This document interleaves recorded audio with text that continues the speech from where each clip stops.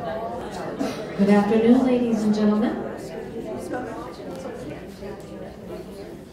Before we begin, I'd like to kindly ask you to check your cell phones and make sure that they are either set on vibrate or silenced completely or turned off. Thank you. And I'd like to thank resident Tim Blodgett for suggesting to us that we invite Richard Higgins here to talk. I do my own cell phone. Turn off my own. That has happened once. Richard Higgins is a writer, editor, photographer, and lecturer. He was a staff reporter and editor for the Boston Globe for 20 years, and his writing has appeared in the New York Times, Atlantic Monthly, Christian Century, Esquire, and Smithsonian, and many other publications. He is the co-author of Portfolio Life from Wiley and co-editor of Taking Faith Seriously about religion in public life for Harvard University Press. As an editorial consultant, he has helped clients develop and write and publish books. Richard is a graduate of Holy Cross College, Columbia Journalism School, and Harvard Divinity School. He and his wife, Reverend Jenny Rankin, live here in Concord, where they raised their three children. In the early 2000s, reading Thoreau's natural history essays and journal reawakened and affirmed his own childhood love of trees he learned to walk where Thoreau walked, to love the same woods, and to see trees anew. He began to write about and photograph them. The result is this book and lecture, Thoreau and the Language of Trees. The book is a beautiful hardcover published by University of California Press with high quality black and white photos, which I'm sure we will see today. We have a handful of copies available for purchase after the lecture for $27, and that will be by cash or check only. I hope you'll help me welcome Richard Higgins.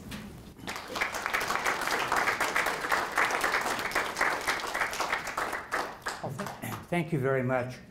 I'm always aware when I get up to speak about Thoreau that I may not capture him in as few words or as well as a man who at an early meeting of the Thoreau Society, uh, back when it was being held at the Colonial Inn in the 40s, said that, that um, Thoreau could get more out of an afternoon with a woodchuck than most men could get from a whole night with Cleopatra. and I just love that. It has nothing to do with my talk, but I wanted to mention that. Thoreau was captivated by trees and they played an important role in his creativity as a writer, his work as a naturalist, his philosophical thought, and even his inner life. He had an emotional bond to trees, but he also understood them, as well as anyone in his day or since. When he wrote in the Maine woods that the poet loves the pine tree, like his own shadow in the air, he was talking about himself. In short, he spoke their language. Now, what drew him to trees? Their beauty and form delighted his eye. Their wildness and perseverance uh, struck a chord in him. And he actually emulated their tenacious hold on earth by spending his whole life rooted here in Concord. Human nature looked somewhat bent to Thoreau, but trees were upright and virtuous. They spoke of the, quote, ancient rectitude and vigor of nature. Nothing, he said, stands up more free from blame than a pine tree. Now, old trees linked Thoreau to a realm of time not counted on the town clock, an endless moment of fable and possibility. They reminded him, he said, that he was a descendant of, quote, that heroic race of men of whom there is tradition, speaking about the ancient Greek philosophers and poets who meant so much to him. And trees were his teachers. Thoreau called the shedding of leaves in, in the fall a sylvan tragedy, but he knew that the fallen leaves would en enrich the soil and in time stoop to rise, as he put it, uh, in new trees. By falling so airily, so contentedly, they teach us how to die. Now, finally, trees expressed unfathomable mystery to Thoreau. He saw them as spires pointing beyond themselves, and the forest as a threshold to heaven. On, a little bit. Oh, okay, fine, sure. If you would hand me my. So I've just enumerated some of the ways Thoreau saw trees, and there actually are, are others. Thank you very much, Jill. Uh, he was, uh, you know, a prescient preservation, preservationist uh, in his uh, study of forest ecology. Uh, but today I'm going to focus on his observation of trees uh, personally, how he saw them both as a poet and a naturalist, and a little of what trees meant to him. And I have some of Thoreau's words and my own photographs to illustrate my points. Excuse me. Now, Thoreau often portrayed trees very imaginatively. A yellow birch was like a flaxen haired maiden in a golden jacket of curling bark. An oak was like an athlete with well developed muscles. White pines were like great harps upon which the wind played its music. But his writing about them uh, was firmly grounded in detailed observation, in his extraordinary eye for trees. Now, Thoreau looked at trees every day on his rambles around Concord. Usually, three to four hours, he said, were necessary to out in the woods to keep him sane. Observing their shape, color, texture, and stance, measuring, and even sketching them. And Thoreau was a, a marvelous artist. Uh, in his journal are oh, easily three to 400 of these sketches of various things, but maybe 40 or 50 of them of trees. And here we have some examples.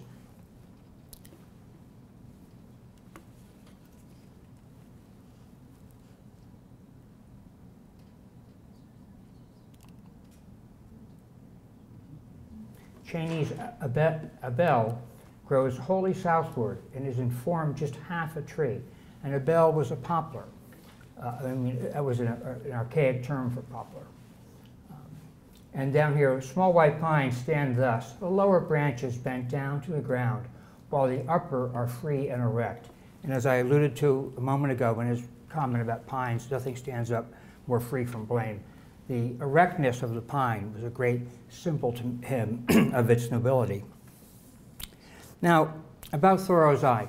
It's true that he had the advantage of extraordinary eyesight. He writes in the Maine woods of being able to see a dragonfly a half mile off on Lobster Lake, which I mean is incredible. But a keen eye was not enough by itself to see trees the way Thoreau did.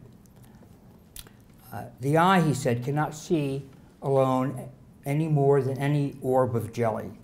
It took a desire to see, what he called a separate intention of the eye. Quote, there is not a grain more of beauty in the landscape than we are prepared to see. He wrote in autumnal tints. The hunter enters the woods intent on seeing game, and so it is with him who shoots at beauty he will not bag any if he does not already know its seasons and its haunts, and the color of its wing, if he has not dreamed of it. When he has, however, he flushes it at every step. So Thoreau was intent on seeing trees, especially the details that separated one tree from another. Quote, a tree stands, a tree seen against other trees is a mere dark mass but against the sky it has parts, symmetry, and expression. He wrote January 26, 1852. And I love that line so much, I almost called my book, Against the Sky, a Tree Has Parts.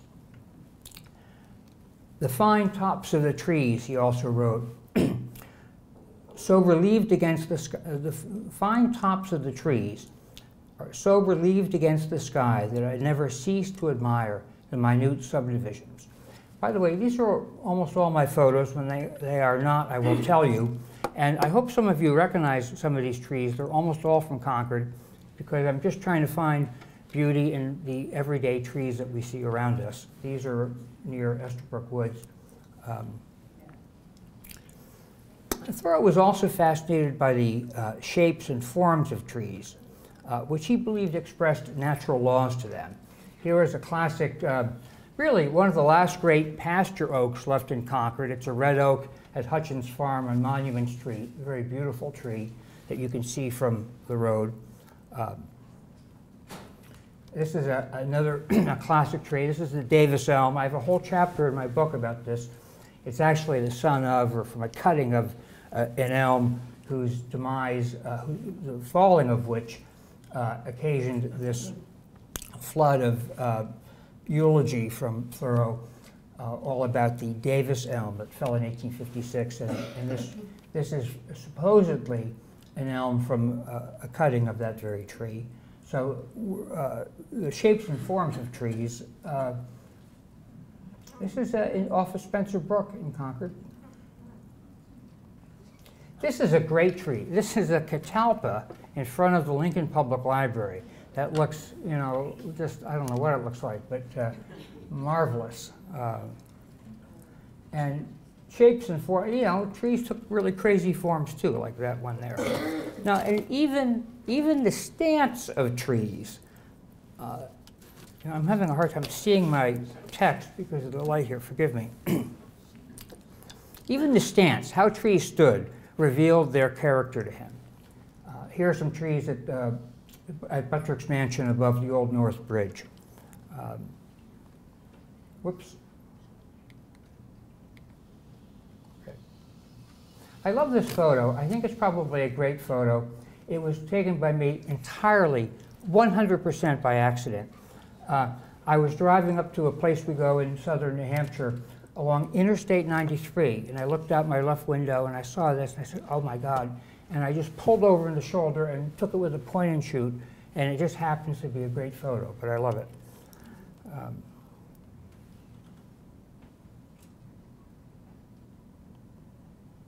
Again, back at um, North Bridge. Forest, this is the Forest Hills Cemetery. Trees are a beautiful ornament to any, any cemetery. Um, now, Thoreau loved tall trees, uh, towering white pines, majestic pasture oaks, and the graceful elms that enclosed Concord streets. And here we have an elm. This one is in Sakonnet, Rhode Island. This is a great tree. I was just there yesterday because I took this photo in, I hesitate to say, 2005. And I've been visiting this guy ever since, and I call him Big Guy. And he's a very noble tree. Now, he's in his late years. Uh, he's, he's very advanced in age, and he has lost many of his leaders. But look with what dignity he stands in the forest. This is just from last fall. Um, and as I said, I just had to go out yesterday because I thought it might be the last storm and get some, some more pictures of them. So big trees.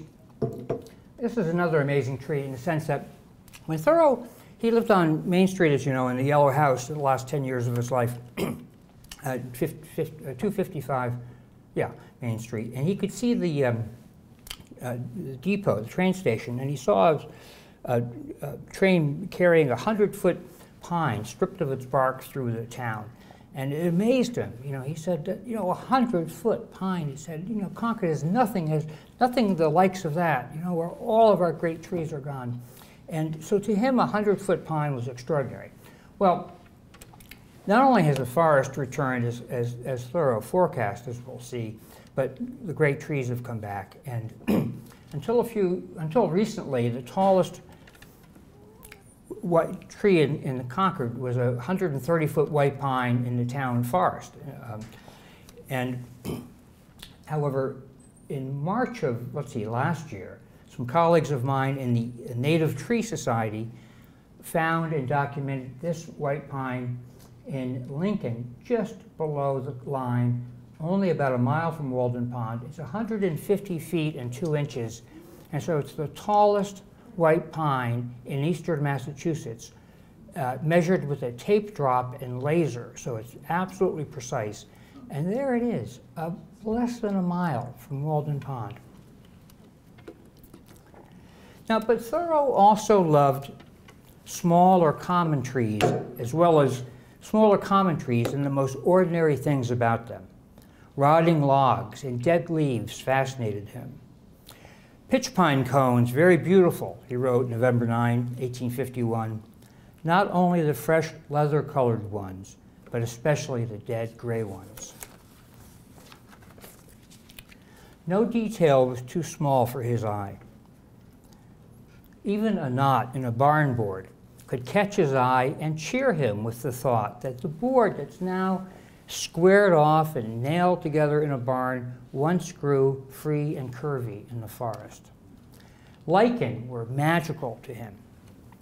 Ah, the beauty of lichens with their scalloped leaves, the crinkled edge, he exclaimed. I could study a single piece of bark for hours. How they flourish. Thoreau took apart pine cones to see how the beautiful silken membrane that encased the seeds eventually became, becomes a wing to bear them aloft. And in this, this is a plate from North American Silva by Andre Michaux. and it's a famous book. It's the first survey of forests in North America with these gorgeous, 150 gorgeous plates like this. And the scales, uh, the seeds are at the base of these scales. This is a female seed-bearing pine cone.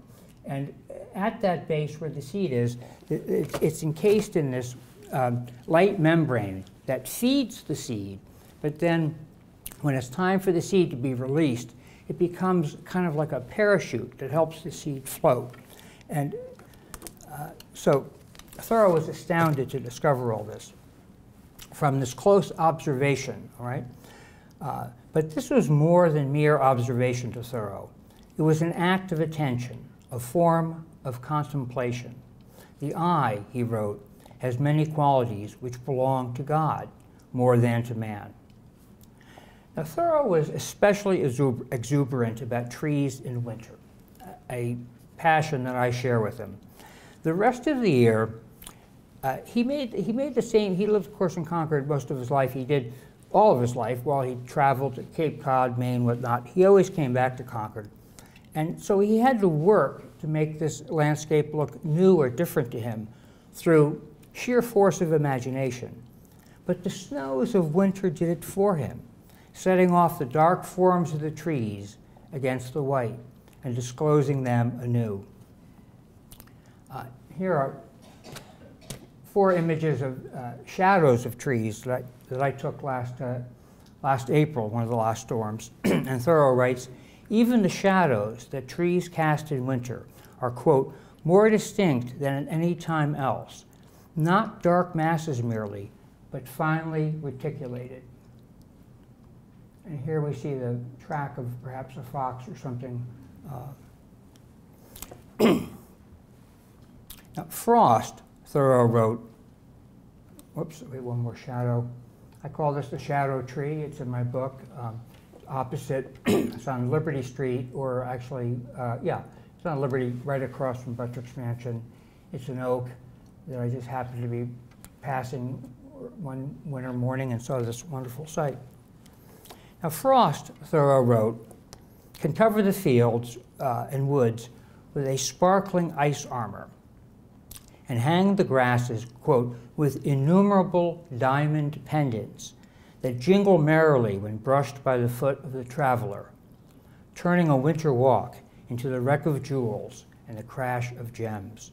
Don't you love it? What an, an amazing writer he was.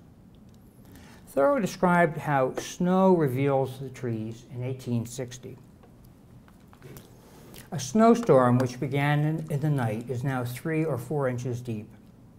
I see how the trees, especially apple trees, are suddenly relieved against the snow, black on white, every twig as distinct as if it were a pen and ink drawing the size of nature. The snow being spread for a background, each apple tree is distinctly outlined against it. It is a moist snow, lodging on trees, leaf, bough, and trunk. Now, I share Thoreau's fascination, as I said, with uh, trees in winter. I just can't wait to get out after a storm, as I did yesterday morning. And here's just a small number. This is Monument Street. This is actually the site of the, a famous tree, or yeah, the site of a famous tree, the Pratt Elm. But it's sort of opposite, catty corner to, to Fenn.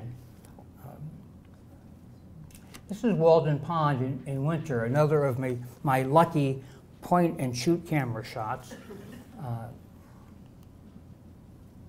a white pine uh, in that field to the left of Estabrook Woods. This is, you know, there is so much beauty in, in just the ordinary. This is right near the tennis courts on College Road, just below that uh, Nurse Neck Pond there, you know?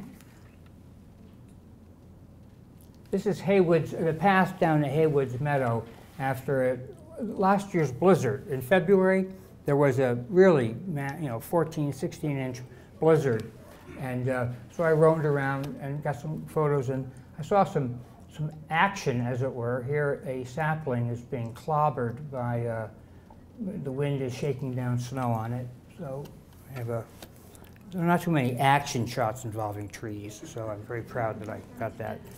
Um, now, Thoreau also saw trees with the eye of a poet, and he turned the woods into a font of metaphor and figurative language. He fed his poetic imagination on trees, he said, the same way a moose browses their buds and leaves.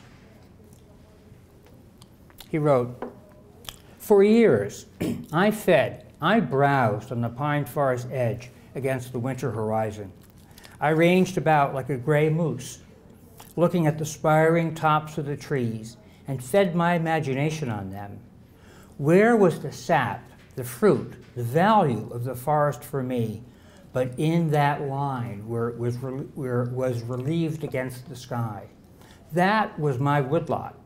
That was my lot in the woods, the silvery needles of the pine straining the light. And all the more poetic for the fact that in the 1850s, when Thoreau wrote this, men of means in Concord did actually have a real woodlot but this was Thoreau's woodlot. Excuse me.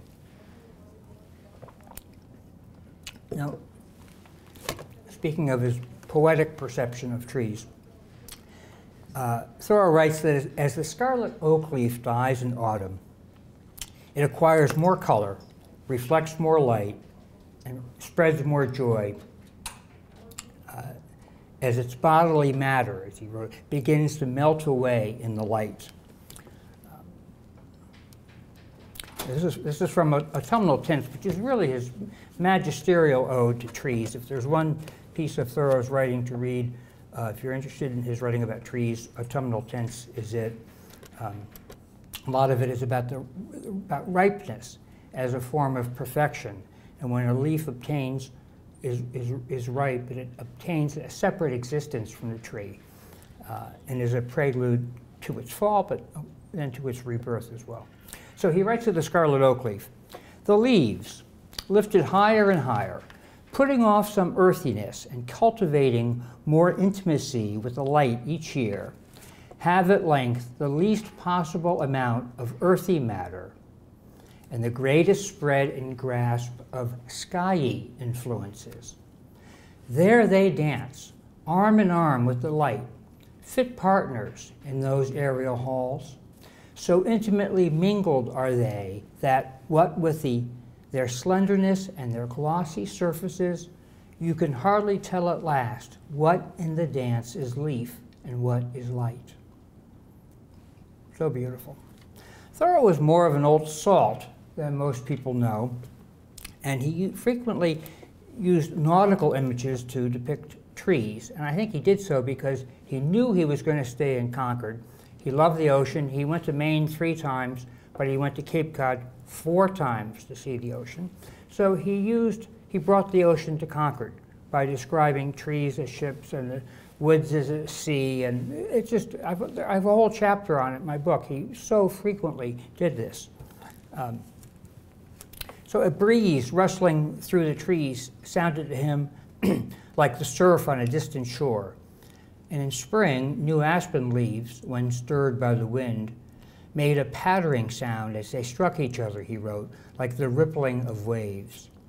So in January 1859, as Thoreau walked home uh, from Stow, I believe, uh, to Concord through an oak, young oak wood, uh, some oaks retain their leaves in winter. There's a term for it, but uh, certain, there are certain species of trees, including beech, that uh, uh, retain the dead leaves. Um, and so this, these oaks did that, and Thoreau heard in January the sharp, dry rustle of the few withered leaves clinging to the branches.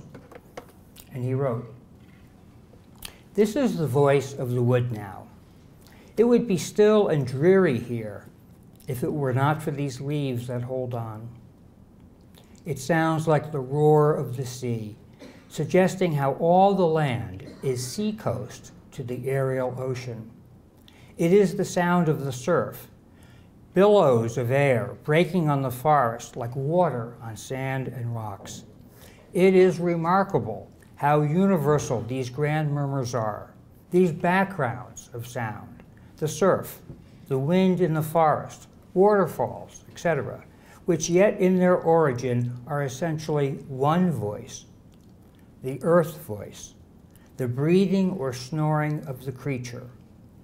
The earth is our ship, and this is the sound of the wind in her rigging as we sail. Now, Thoreau's studies as a naturalist gave him a new lens on trees. In 1851 and 1852, he read John Evelyn's Sylva, a discourse on forest trees, one of the very first works of that kind. Uh, an 1846 survey of the forests of Massachusetts by George B. Emerson, and Francois Andre Michaux's North American Sylva, to which I've already alluded, uh, first major survey of trees in the New World. Thoreau was really uh, caught up in this, and um, he began to identify trees by species in this journal and record data such as the number of stamens in their buds or when they leaf out. Quote, the yellow birch first, then the black, then the white or paper birch. And when they turn color in fall. He also began counting their annual growth rings to learn about their lifespans. But Thoreau's main interest as a naturalist was the mystery of succession, how and why one species follows another.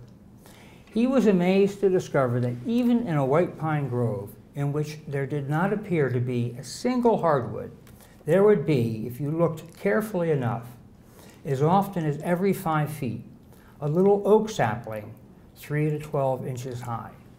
And this is a, I don't know if you're familiar with Tobin, Tobin Woods uh, near Nashoba Brook School, but this is um, in the woods near there.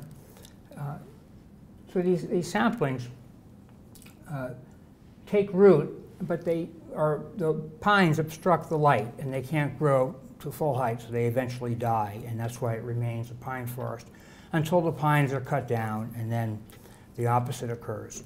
The, uh, and similarly, oaks shelter pine saplings. Those saplings can't grow because of the light being blocked, but when the uh, oaks are cut down, then, it, then the pines shoot up. Now, Thoreau understood this, and other people, you know, recognized this pattern, okay? So they knew that this cycle was familiar, but nobody knew why it happened. Uh, Thoreau didn't understand how either succession could occur, uh, how any tree could take root when there, when there were no similar trees nearby. He figured this out by observing how trees disperse their seeds. You know, he literally chased after squirrels, digging up their booties of pine cones and examining the cones and testing their aerodynamic qualities to figure out uh, you know, how these seeds got to different places. And after painstaking observation, he was certain that the wind transmitted the lighter seeds, such as pine seed, and that birds and small animals spread the heavier ones by eating them or carrying them on their fur. Thus trees propagate, he wrote, quote, by the balloon or parachute or, or hook or barbed spear. Now, Thoreau was not the first person to suggest that forests naturally regenerate, but he was the first to fully understand the role of wind, animals, and, and unwitting farmers in the propagation of trees. He was the first to document it, and the first to coin the term succession.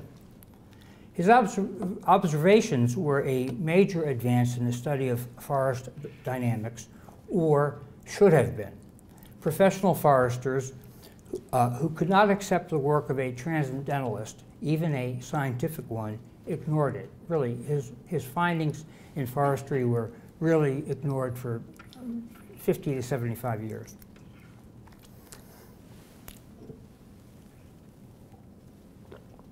So Thoreau was really buoyed by the success of his lecture, uh, the, the, success of the succession of forest trees, a lecture he gave in September 1860 at the Middlesex Cattle Show here in Concord.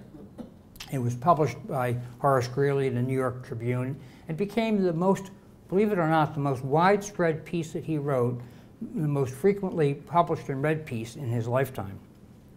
So he felt a new sense of mission, and he busily began collecting data on the life cycle of trees, surveying Concord's forests, estimating the growth rates of trees by the spaces between their annual growth rings, and clawing at roots to expose the clues to the history of a tree.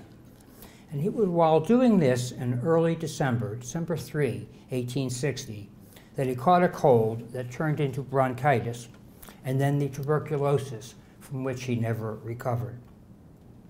His death two years later, in May 1862, would have been premature in any case because of his age, 44. But the energy and excitement he brought to the study of trees that fall of 1860 makes it all the more tragic. And his life was doubly tragic in that it overlapped almost exactly with the greatest extent of deforestation in New England. By 1850, save for wetlands, inaccessible woodlands, or land just not fit to farm, Concord was largely shorn of its trees. Quote, every larger tree which I knew and admired is gradually being culled out and carried to mill, Thoreau wrote in his journal on December 3, 1855. I miss them as surely and with the same feeling that I do the old inhabitants of the village street.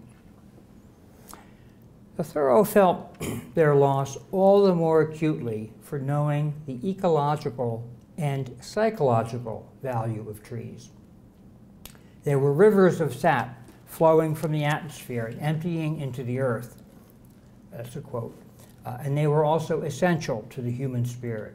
Quote, what would human life be without forests, those natural cities, he asked.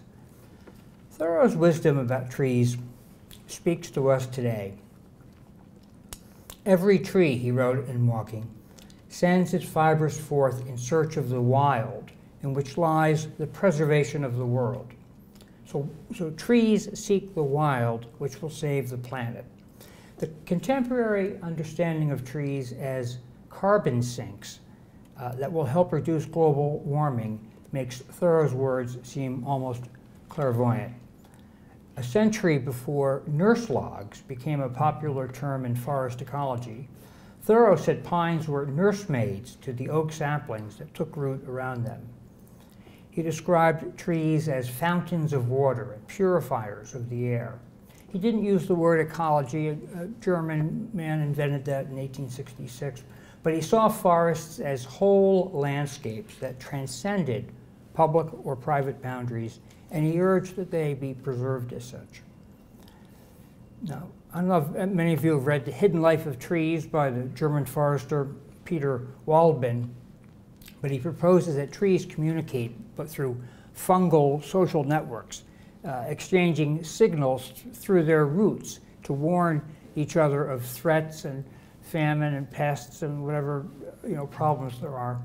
So this idea of um, trees communicating could certainly by electrical signals could not possibly have occurred to Thoreau.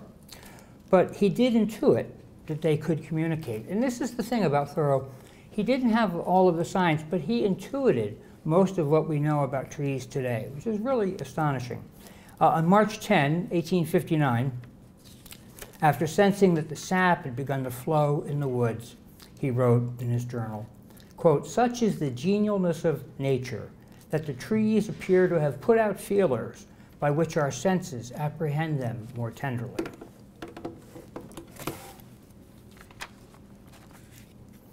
And despite the relentless cutting of the woods around him, Thoreau foresaw that, one, quote, one day they will be planted and nature reinstated to some extent. And certainly that has become true in spades. Now, despite what I've just told you about Thoreau's work as a naturalist, he did not believe nature could be known reductively, that is, as an object under a microscope. The purely scientific view was too dry, too literal, too narrow. The pursuit of parts obscures the whole. These are scientists examining a giant sequoia sample at the University of Arizona Laboratory of Tree Ring Research in 1950. Quote, Thoreau wrote, The man of science studies nature as a dead language. Thoreau said, that this doesn't mean that he was against science or the scientific study of trees, merely that science must complement or supplement a broader, wiser, more sympathetic understanding of trees, alert not only to the quantitative facts, but to the message or story or mystery that they present. Thoreau wanted to know not only what trees were, but also what they meant, what they signified. He saw them as expressions of universal laws and spiritual truths, and he wrote about them both as natural fact and as parable. He saw the leaf in particular as an ideal form, a permanent template, he said, found everywhere in nature, from the wings of birds to the antlers of the moose bird feathers, the human hand, and even fissures in the ice.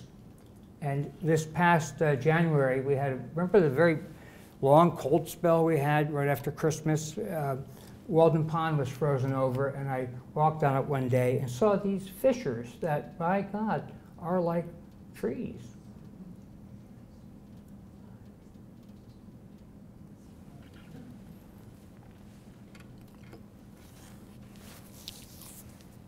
And a fallen tree, Thoreau wrote, teaches us that how we live determines the kind of spiritual nutrients we will leave behind. Nature, he wrote, teaches that the passing away of one life is the making of room for another. The oak dies down to the ground, leaving within its rind a, a strong and fruitful mold which will impart a vigorous life to an infant forest. The pine leaves a sandy and sterile soil. So this constant abrasion and decay makes the soil of my future growth. As I live now, so shall I reap. If I grow pines and birches, my virgin mold will not sustain the oak, but pines or weeds and brambles will constitute my second growth. Now, this is a marvelous insight, right? That appropriate to anyone in this room, my age, your age. What's so astonishing about Thoreau is that he, this is the third entry in his journal. He began at age 20 in 1837.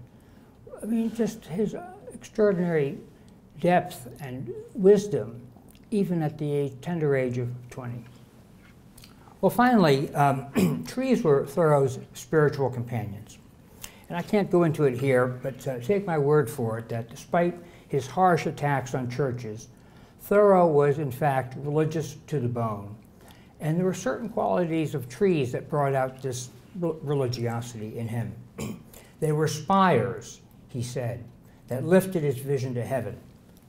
Now, just what that word meant to him is unclear, but he used heaven all the time, uh, very often in any case, at least in all of its forms, heaven, heavenly, heavens, 48 times in uh, Walden, and 11 times just in the chapter economy. Uh, he continually linked trees and heaven. By fall, an industrious red maple has grown nearer heaven than it was in the spring. Elms, quote, take a firmer hold on earth that they may rise higher into the heavens. Loggers, he wrote, felled a majestic pine that for two centuries had been rising by slow stages into the heavens. He writes a prayer on a leaf, and the bough springs up the scroll to heaven. An oak sapling is driven back to earth again 20 times as often as it aspires to the heavens. Now, Thoreau preferred not to define what he meant by this. All that mattered to him was the experience of the sacred in nature, and trees often led him to it. They were his shrines and burning bushes. The forest was his cathedral. Its spires inspired him more than the whitewashed village steeple. Alone in a distant wood, Thoreau got, quote, what others get from church going, close quote.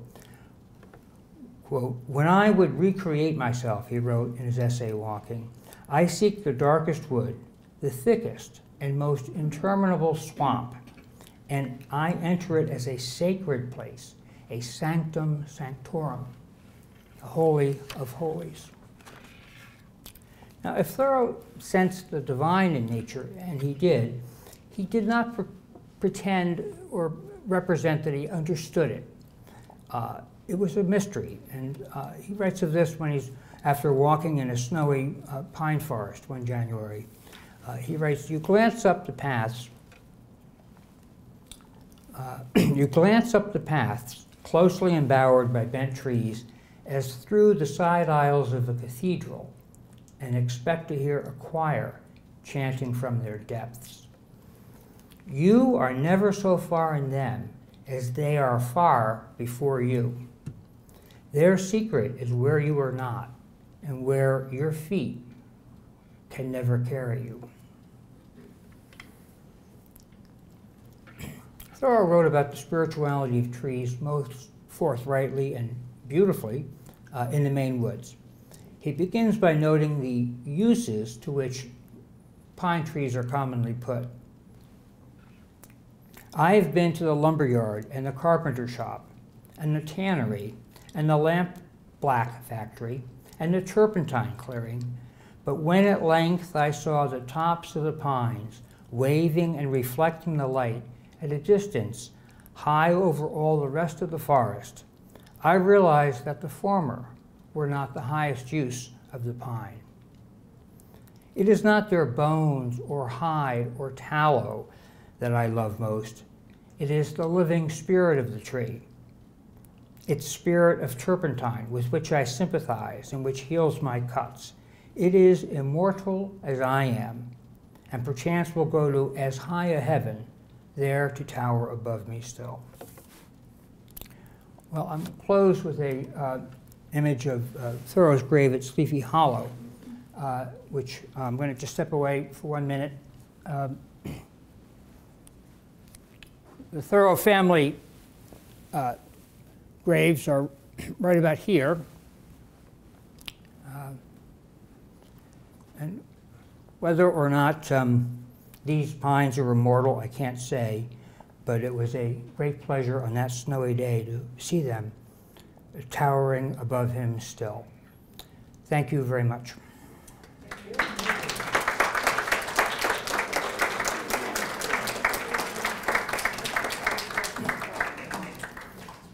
Now, I would be delighted to take any questions if people have them. Sure.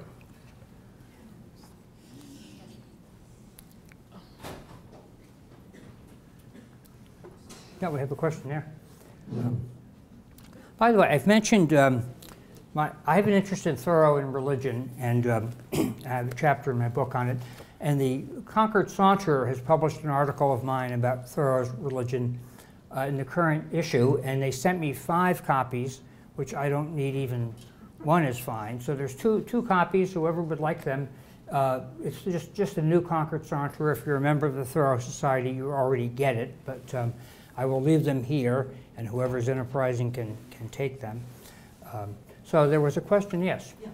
Um, what a wonderful um, talk. I Thank you. love Thoreau and I love trees, and the combination was just terrific. And this is a little bit maybe off the subject, but I've always wondered. I look out my window, down over the patio, and I don't know what kind of a hardwood tree it is, but its branches go like this, they go like that, they go all over the place. Do you know what it is that makes a tree Well, put a branch Yeah. where they put it? Right. Well, there's, uh, Thoreau referred to a, um, a, a, an oak-type elm, which is actually a legitimate kind of uh, elm that um, was like the, the, the, the great elm on Boston Common and the Pratt elm in Concord that he wrote about with very angular arms that went kind of in all directions. They weren't va- most elms are vase-like, have this very you know, gentle curving, you know, motion, but these oak-type elms are all over the place. Um, so that may be what it was. There's probably a more scientific term. I was surprised to see uh, a, a reference by an arborist to that term, oak-type elm, but that's what he wrote. And uh, do I have a picture of one? Um, uh, not perhaps in this PowerPoint, but um, there's a marvelous Herbert Wendell Gleason photograph of the Pratt elm that you could find through the Concord Public Library. And if your tree looks like that, then it's an oak-type elm. But is it, is it the um, tree that makes them that way, or is it weather, or what? I think it's God. Uh, I, I have no idea. I mean, it would would be, you know, the, the uh, you know, the, the, the uh, way the tree is, is programmed to grow. I don't know how else. I guess, well, no, I should say that, you know, that's an interesting point. Trees um, lean toward the light, and branches will grow, you know, in, in the dir- direction of light. Uh, so that would be one factor, but then that may not explain. Uh, I'm at a great disadvantage not knowing your tree. okay. Well, show me a picture sometime. Anyone else?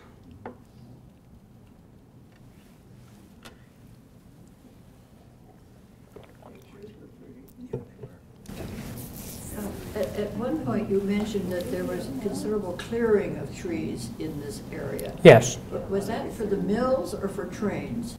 That was for farming um, initially, and then you know the trains sort of added to it. The train came to Concord in 1844, uh, and um, our esteemed uh, town sage Ralph Waldo Emerson was a big investor in the railroads, uh, and they, they you know cut quite a bit of Walden woods for that. But the initial clearing you know was was to farm, and uh, most of Concord was was farmland until the you know early 18th century when it became industrial. Um, but some there you know you read estimates that all but 10% that 90% of the land was cleared. I, I find that hard to believe partly because Thoreau writes so often about trees and describes, you know, the pockets where they are, that it, it seems it has to be more than 10%. So I'm always a little dubious, but I would say that Concord was no doubt 75 to 80% cleared of trees uh, because of, you know, the land was to be used for farming. And that is why about 10 years ago, the, the um, Minuteman Historical National, National Historical Park cut down all the trees, and which is, does anyone remember that? They, you know, it was a very bold decision, and, um, but they wanted to recreate the landscape as it was, which was pretty treeless. I have a follow-up Sure. question, and that is, That's just one dollar. um, did, uh, at his, at that age, did that, was that premature for, for people like Thoreau to be thinking in terms of preserving land? Absolutely. Or setting it aside, or did he participate in that, or what, was there any He- to his being Yes. concerned about? He was not an agitator for the preservation of trees in the sense that he didn't actively, you know, lobby or whatever to make that happen. But everyone who did after him cited Thoreau as an inspiration. Most prominently, John Muir, who convinced Teddy Roosevelt to create the national park system.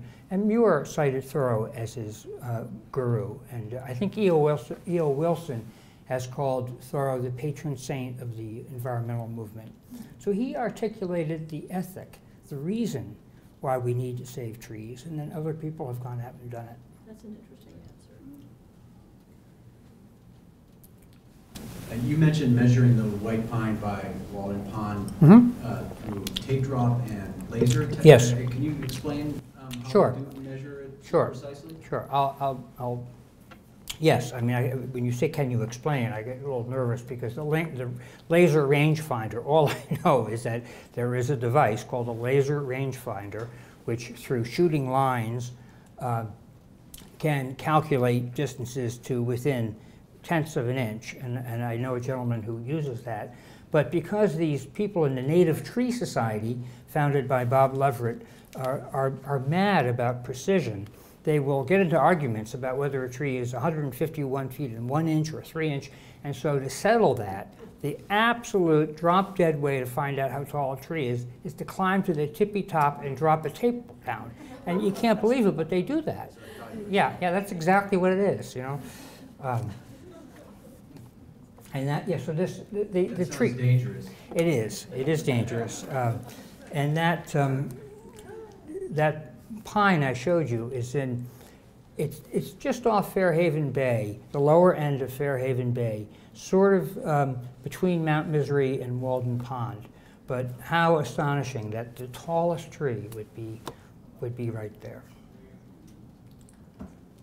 Well, if there are no other questions, I thank you very much. You're a wonderful audience to speak to. Thank you.